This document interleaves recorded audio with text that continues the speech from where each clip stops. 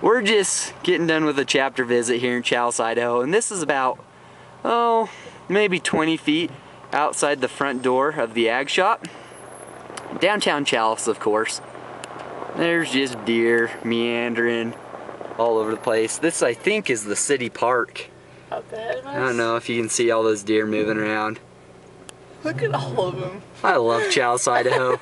Tiara, do you love Challis, Idaho? I love Challis. Oh, we had so much fun today. Challis chapter. Bunch of wonderful kids. Mrs. Ollinger, very passionate, very dedicated advisor. Amen to that. Signing off, Jake Lake, Tiara Perman.